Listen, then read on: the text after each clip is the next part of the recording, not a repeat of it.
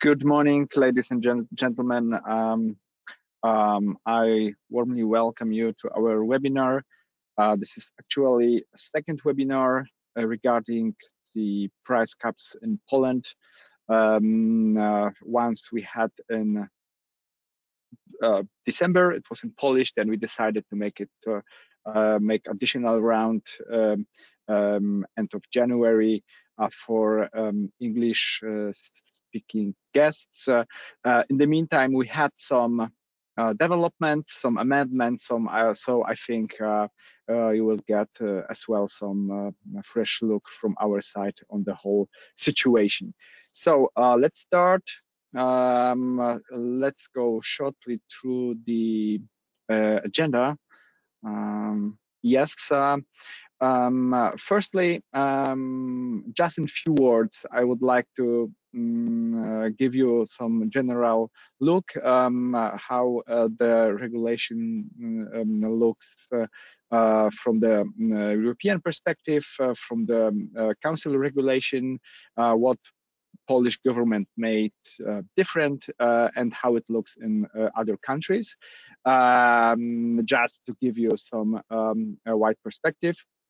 Then uh, uh, briefly um, mm, uh, to, to, sum up how um, the Polish um, situation looked like, um, what are the uh, prices, uh, what are the limits, what are the caps, and how uh, they are distribution distributed to um, um, different situations. then um, we have um, some actually new topic. Then in last um, webinar has not been let's say um, uh, developed due to lack of time has uh, we will talk about the um, uh, how the uh, regulation uh, if the um, new implemented regulation allows to adjust or terminate the contract for sale of energy. Uh, and uh, last but not least, um, the tax consequences. Uh, uh this will be pretty important. And um, yeah, um, that's that will be all. I think within 45 minutes, we will be able to um, uh, Uh, yeah, discuss uh, um, uh, this all. Uh, if we will uh, have time, then definitely we will make some Q&A round at the end. so, um, and now to the um, um speakers, um, Jakub Plebański, um, our energy lawyer um, responsible for years for, to, for supporting uh, supporting of our clients from um, um, mostly renewable uh, sector. Um, as well um, a PhD candidate uh, and uh, Jakub Wajs, uh, head uh, of um, tax department here in Gdańsk and as well dealing mostly with yeah tax problems, uh, tax issues of um, our clients from uh, renewable sector. Um, uh, I am Piotr Mrowiec, head of renewables um, and by Rödl & Partner Poland, dealing with yeah, for years with um, with um, uh, um, uh, renewable um, issues and uh, clients with from a renewable sector. So uh, just to give you a um, really short um, impression what we are uh, doing uh, here in Rödl. Sorry, uh, still I cannot use my, yes, now. Um, uh, so our competences, um, uh, what we are um, covering, um, that's um, actually uh, everything uh, what uh, our clients need from renewable um, uh, sector uh, from legal, tax, and um, bookkeeping perspective is uh, covered by us. so um, recently there are um, corporate PPAs. The questions with how to deal with um, with the price caps, still auction problems, and of course, we are supporting uh, our clients from the very beginning, acquisition of the project, uh, checking the projects, then uh, developing them, and so on and so on. From tax perspective, as well, now um, pretty hot issue is the um, real estate tax. Uh, and as well uh, bookkeeping um, um, issues uh, as well. so um, I do, do, not think we'll go through the um, let's say examples, but we have through the years a pretty um, long and um, a nice track record. Uh, happy to share it um, with you uh, um, if you uh, need it. But just to uh, dive deep um, uh, into the topic, um, let's start with the mm, general perspective. Uh, um, um, as you know, um, probably um, the whole idea with the uh, uh, energy price limits or energy price caps uh, is not an um, idea of our, let's say, energy or renewable energy unfriendly uh, Polish um, uh, government. It's not. It's um, uh, has been um, compromise uh, reached uh, on the EU, EU um, uh, level to um, impose um, such a cap due to the fact that uh, the energy prices um, uh, source uh, uh soared um, uh, really uh, high, and actually it came um, to the situation that um, producers gain additional profit, and this has been not um, foreseen, and actually um, it has been I would say um, uh, as well uh, not so uh, healthy for the market.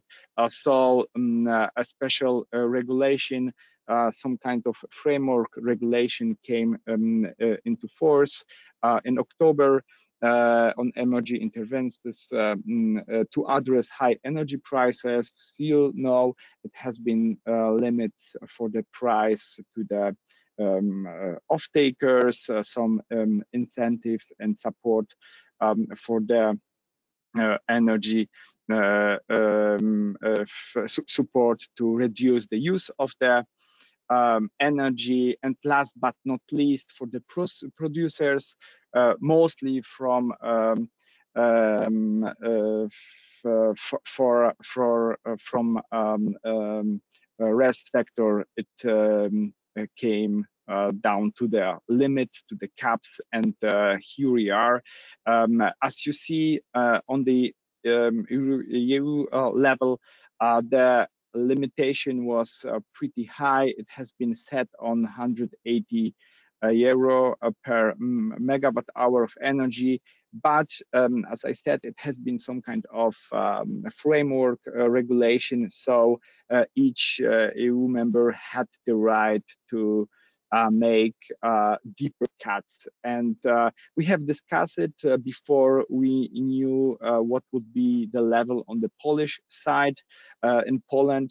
Um, I wouldn't imagine that that we will have so, let's say, low uh, caps, uh, but uh, the regulation somehow allows it. But just to it has to be um, um, seen, and some of let's say um, our clients thinks to somehow uh, challenge uh, their uh, Polish law because they think that the Polish caps are um, um lower uh, than allowed by the European Union due to the fact that normally the level uh, at which the cap uh, is set uh, should not jeopardize the ability to, of the producer to recover, for example, their investment and operating costs. And additionally, it um, uh, the cap um, should preserve uh, future investments. If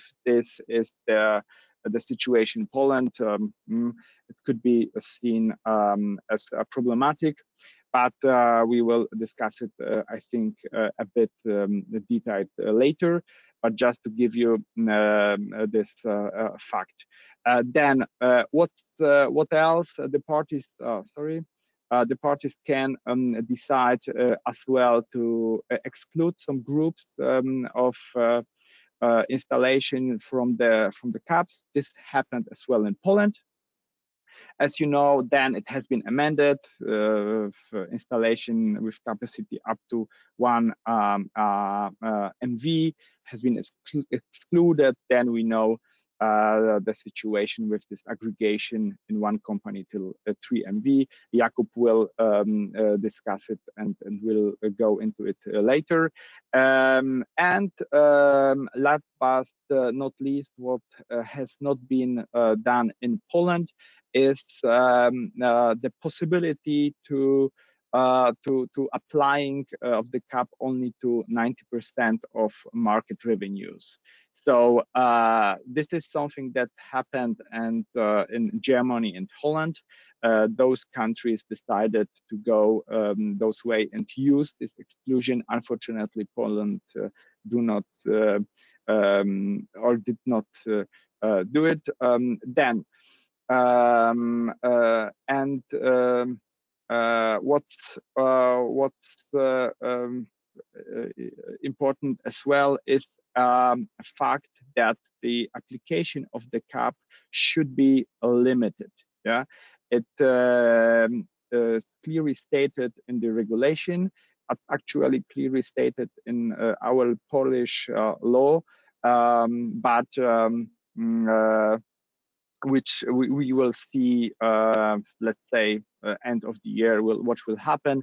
Actually, the limitation is uh, till the until middle of this year in the regulation. We know now that uh, actually in uh, our um, uh, um, um, legal act, uh, the cap should be imposed till the end of this year.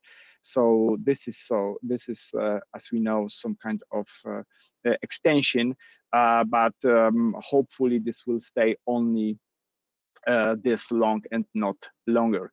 Um, okay, just uh, quick to deep into the Polish uh, legislation. Um, we have actually two crucial um, mm, uh, caps, um, uh, let's say variants. Uh, first, um, if generation, if the installation is uh, producing the energy um, totally outside the auction system, uh, so uh, then, then the limit equals to the reference price uh, uh from the date of calculating write-offs or contributions. And then through the amendment, we have this extra uh, bonus, I would say, extra uh, additional investment allowance to cover fixed costs. It, it, it, this is additionally 50 PLN. This is the first situation. The second one, it's more, well, let's say, problematic one for for um, uh, some of our clients definitely uh, because they are they taking part in the um, auction uh, system um, but they decided that they will um, sell only part of the energy in the system so for them, the situation looks um, totally different. They do not get uh, this uh, uh, additional 50 PLN due to the uh, amendment, unfortunately. Uh, uh, and um, the limit is set not by the reference price, which is normal higher in, in, each case higher than the than the bid, but uh, the limit equals to the auction bid uh, indexed um, annually. So this is really um, a huge loss for uh, some of our um, um clients. Um, yes, if you close financial or virtual PPA, uh, then um, this uh, is good that this, this has been foreseen. Uh, you will get um, this uh, average amount um, uh, that the counterparty can claim as additional. You can add it to this uh, limit and and um, uh, make it um, the limit will be then um, uh, higher. But it only applies to financial or virtual PPA um, uh, entered with um, end consumer. Uh, so just um, uh, only to um, uh, show you some um, examples how the difference looks like if you are generating energy um, and selling it only outside the auction system, uh, then your cap of energy price will be will be set at um, 405 um, PLN at the moment. So additional reference price plus uh, um, uh, plus uh, sorry, I do not see it. Yes, sorry, this is some kind of problem with the with the presentation, but now it is. Uh, so here's the example, a cup of energy um, price uh, for the installation that sold sell the energy outside the um, auction system. We have it at 405 PLN. Reference price actual uh, plus, uh, 50 PLN. Um, uh, this uh, additional bonus here by PV farm and then uh, by example two, if you are selling even smallest uh, uh, amount outside the auction, which means that you won the auction, uh, then the price would will uh, um, uh, be set differently. It will be, let's say, you won the auction by two, two, 225 PLN, then um, I increase it by inflation um, you will um, receive or your limit will be set by 270. So the difference is huge. Uh, in our opinion, it's uh, uh, not fair approach by the uh, Polish legislator. Uh, let's see, it will be uh, if it will be somehow challenged by some clients. Okay, um, handing over to Jakub to to to go further. Thank you. Uh, thank you, Piotr, for your uh, presentation, uh, including your introduction and your input regarding the European regulations. It's, it's really helpful to understand better my part of presentation, which is when uh, we were thinking over the, the, the order of the agenda, which is more optimistic because we want to uh, move over the, the, the issue of uh, exemptions from the from the write-offs to to the funds and some challenging of contracts which are uh, affected by the, the newest regulation, which really uh, in a significant manner uh, change the, the, the, obligations of, of, of, parties. So this is the uh, so this is the, the, the most important problem which I want to, to move in my in my part of, of, of presentations. Uh, on the first slide, you can see uh, exclusions from the obligation to contribute to the to the price difference fund. The first uh, bullet point, which was uh, already moved by Piotr, this is the exemptions, uh, the exemption regarding the uh, projects which are operating within the auction system. However, as it should, uh, as it was uh, rightfully mentioned by by Piotr, if you sell if you sell any part of energy outside of the auction system, so you decide to to to to divide your volume of energy and partially calculated within the auction system, partially out of the auction system. The part of energy which is calculated of the, out of the auction system also is covered by the limit of, uh, of energy prices um, on the threshold of the auction bid indexed by inflation rate. So the, the, the exemption regard uh, refers only to the auction project which completely uh, sell all the volume of energy within the auction support uh, support scheme. The other point I want to pay pay your attention, uh, these are uh, biogas installations which are functioning within the feed-in tariff and feed-in premium system. Uh, I want to pay your attention uh, also on the on the fact that uh, biomethane installations are fully exempted from the contributions to the to the fund this is a very important and uh, potentially very advantageous uh, direction of, of, investments in, in Poland, we, we see quite um, favorable approach of, of government to, to the development of biomethane and also biogas installations in Poland. Energy cooperatives, uh, another point exempted from uh, write-offs to the to the fund, not popular, but um, recently uh, introduced changes to the to the Polish law um, make a potential of, of, developing this form of, of energy production, especially on the uh, rural areas. So uh, it's mainly dedicated for for agriculture, photovoltaics, and uh, may may benefit in Poland in in future.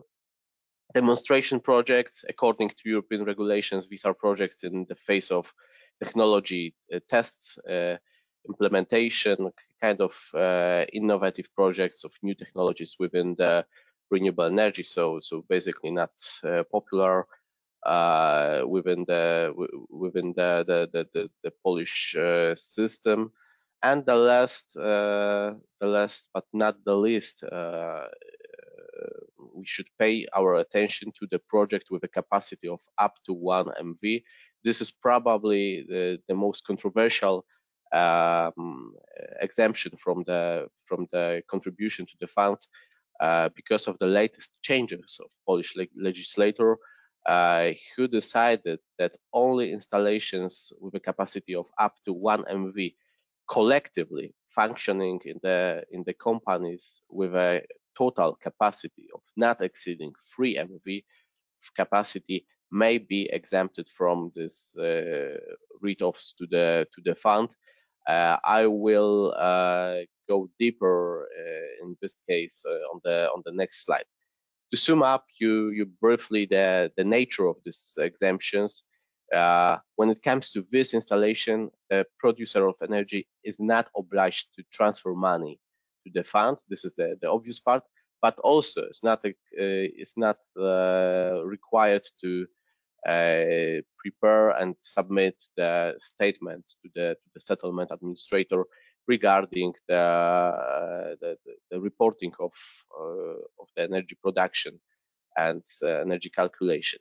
When it comes to the installations which are not exempted to, uh, from the from the uh, contributions to the fund, but because of some low prices uh, they are not affected by the limits of energy prices, even if they are not required to transfer money to the fund, they need to submit the relevant statements to the settlement administrator. Okay, on the next slide, I want to pay your attention to the case of 1MV uh, installations. I prepared some very short case study to understand it better. Uh, in this case study, we have the producer, typically a limited liability company, small SPV acting in Poland, uh, has, uh, which has four photovoltaic installation, let's say uh, two installation, one and half MV, two installation, half MV. Uh, typical typical SPV in Poland collectively having four MV in, in its portfolio.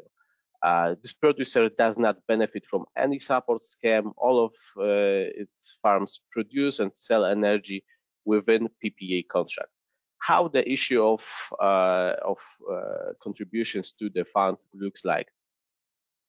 At first, we need to pay attention to the uh, December changes because uh, at the primary version of of the regulation, it was very simple exemptions regarding all 1MV installations. It was just a rule which uh, allowed all installations not exceeding 1 MV of, of, of power uh, to be exempted from this uh, to the to the fund. So when we would calculate this case uh, in December, uh, the producer would be burdened by uh, by contributions to the fund to the fund only in terms of two installations with uh, the capacity uh, with the capacity of one and a half uh, MV. It was very simple. It was a very simple rule. Uh, things get complicated after the the December's novelty of, of our regulations because of the let's say, more puzzled uh, intention of, uh, of, of the legislator, who decided that only uh, installations with the capacity of 1 MV or not exceeding 1 MV, which functioning in SPVs which collectively not exceed 3 MV may be exempted from this fund. And the question is in this case, whether the, our producer uh, should uh, contribute only in terms of this two one and half MV installations, or the uh, the contributions should relate to to the production of from all the installations, even the, despite the fact that uh, these two, two, two installations with a capacity of half MV do not uh, exceed the threshold of of one MV power. Um, the, the, answer was uh, was provided by settlement administrator in Polish Zarządca Rozliczeń, who presented the list of, of uh, frequently asked questions and tried to respond it. And in its in his interpretation, uh, the producer is obliged to uh, to contribute for uh, all his installations within the company. So also the the installations with a power with the power of half MV need to be uh, need to be uh, subjected to contributions to the fund. From our legal perspective, this is the very significant incentive to transfer the smaller installations to uh, to separated SPVs, uh, and this interpretation has, let's say, only the apparent uh, the, the, apparent uh, using because of simplicity of transferring installations to separated uh, to separated company. So we want to pay your attention to this fact, to this interpretation, and we want to encourage you to to, to think over the the issue of establishing new SPV when there is a danger that uh, that you can exceed the, the, the, threshold of 3 MV collectively within the one company. Uh, also, this is very interesting, what it would be when we would stay with one uh, installation with a capacity of one and a half MV and two half MV installations, so not exceeding the collectively threshold of 3 MV, but one installation would definitely uh, exceed the threshold of 1 MV. Given the, the, the, the, approach of settlement administrator, we also would recommend you to transfer smaller installations to the separated uh, SPVs, not to be endangered on uh, additional contributions to the to the fund. Briefly, uh, reporting and control, please pay your attention to the fact that uh, there was a recent change when it comes to the deadline of transferring money to the uh, to the fund. Now it's a 10th working day following the reference month uh, in respect to those amounts for which payment has been made in reference month. Uh, previously, it was uh, the, the, the, fifth uh, working day, so quite significant change. Uh, when we calculate working days, uh, please uh, do not take into account Saturday and, and Sundays.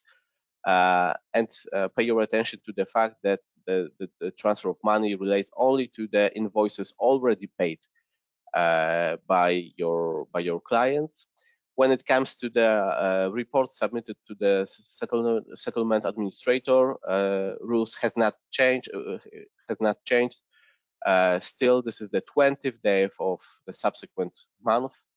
Uh, please take it into account when you draft your your contracts and decide on business strategies.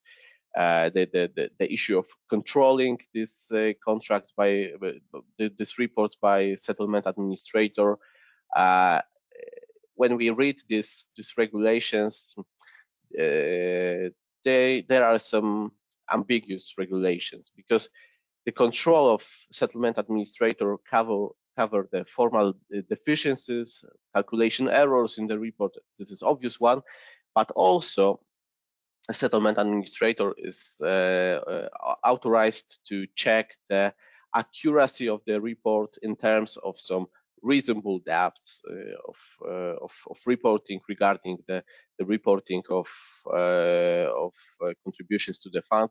From our perspective, this is let's say some gate for the settlement administrator and then by energy regulatory office to control also the kind of um, you know uh, bypassing the the the, the, the regulations uh, already adopted. So so uh, any contracts should be deeply analyzed by from from this legal perspective also regulations regarding the undermining of the of the contracts due to the recent changes uh, of, of law. Uh, we want to pay your attention to the universal regulations within the Polish Civil Code, which uh, uh ensure the, the possibility to, to undermine the contract in case of extraordinary change of circumstances. This is a commonly used regulation in, in Poland. Uh, naturally, this is not the one and only rule.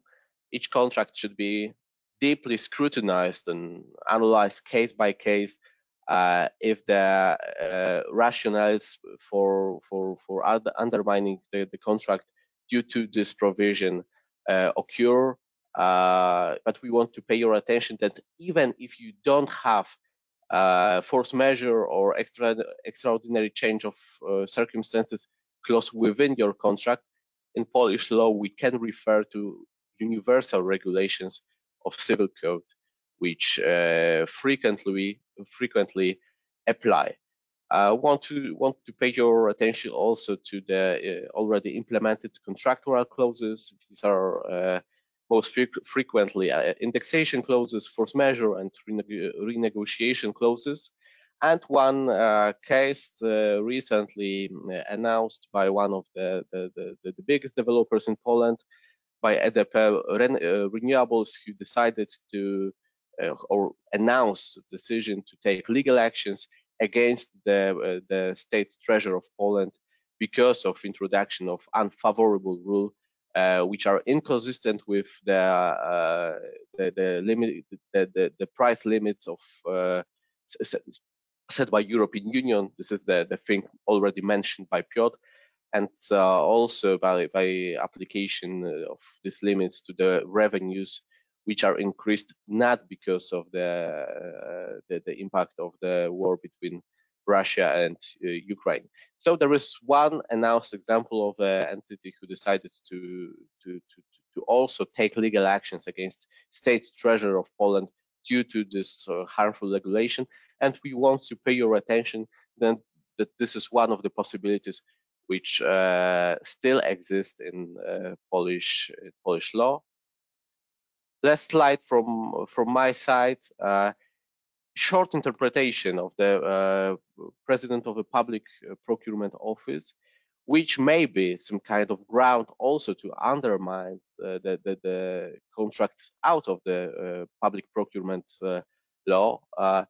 Uh, where the uh, president of this uh, office stated that the price, a change in the price of electricity through the statutory price cap may be regarded as a circumstance that is unforeseeable and beyond the control of a contracting authority, thus, uh, uh, thus allowing an amendment to the contract. So even from the, let's say, official side, we see some grounds, some premises that uh, the recent changes of law may uh, may bring us to, to, to, to, some kind of adjustment uh, or even challenging the contracts in the way of uh, formal uh, formal legal actions or just uh, or just negotiations.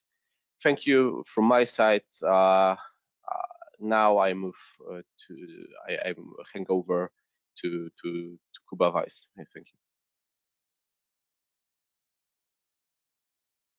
Thank you, Jakub. Hello, everybody. Um, I would like to give you some perspective of, on the tax qualification of contributions to the to the fund, uh, and at the same time um, comparing them to the settlement of positive balance in in RES auction support system. Um, so contributions to the fund are tax deductible costs both for corporate income tax and personal income tax purposes as it is confirmed directly by the law. Um, to recap a little bit what uh, Jakub um, said before, contributions must be calculated for each individual day of a given month and then summed up for the whole month. This is the this is the um, whole the payment due to the to the settlement manager. Contributions must be transferred to the fund account by the 10th. Initially, it was the 5th, but by, by after the adjustment of the act, this deadline was um, was postponed. Business day of each month following the month of the settlement, in respect of the amount for which payment has been made in the month of settlement. So this is important for the payment um, obliga obligation um, it is important whether the electricity sold was already paid by the contractor or not. The report itself shall be submitted by the 20th day of the following month. Um, and what I mentioned before, this is stated that if the entire contribution has not been settled by the date specified above, the outstanding amount must be included in total contributions for the next calendar month in which the settlement takes place. Uh, but the regulations do not specify if such a shift can cover several months or only one month only.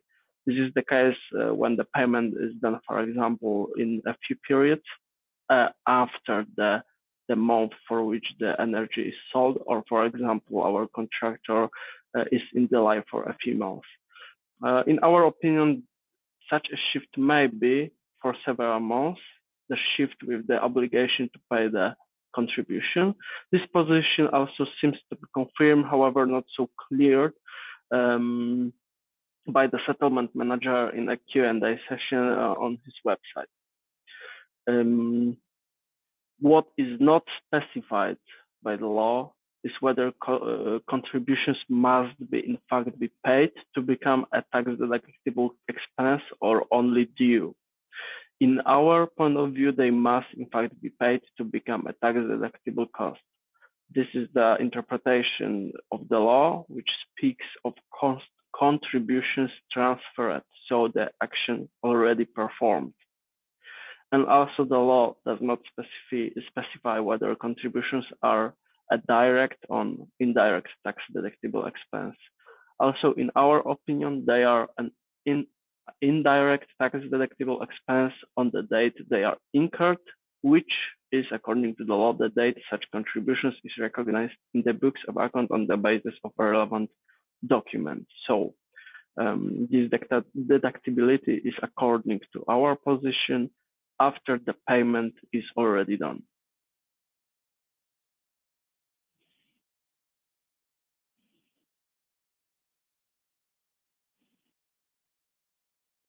Excuse me for this uh, for this short break, but I have problem with my presentation. Okay. Um, if it comes about the tax qualification of positive balance refund, what is also sorry, what is also the system of of uh, settlement, the, the, the sale with the um, settlement manager. The law does not specify the rules for either qualification positive balance refund in the res auction system as tax deductible expense or rules for accounting it. Um, it seems a little bit strange that even there is no advanced tax rulings on this issue because in my opinion this is quite crucial to, to all generators in this system. Um, in our opinion, it is a tax, tax deductible expense um, as the as the kind of the expense securing the source of the revenues and should be recognized when the cost is rec recognized in the books of account on the basis of a relevant document. Um, as I as I said before, there are no advance rulings on disqualification of a positive balance refund, and this interpretation is derived from how the settlement of a negative balance is understood. The, the positive balance is the situation when the um, generating entity is obliged to pay the refund to the settlement manager and the negative balance is the situation where the, the settlement manager is paying um, is paying the, the, the, the, fee to the um, to the generating entity. Uh, and a negative balance it is already mm, stated in some individual tax interpretation is the revenue only at the time it is paid.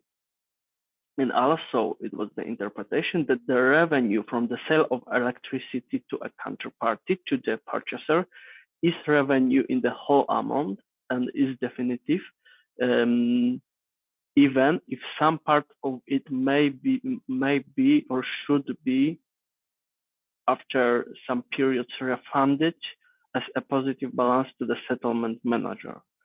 So the tax approach is not in the line with, with the economical approach, let's say. Um, and comparing both cases, for the contributions, the tax deductible expense nature is guaranteed by the law, derives expressly from the law. Uh, and for the positive balance refund, um, it can follow only from the general definition of tax, tax deductibility expenses. There is no loss or clear interpretations on that issue.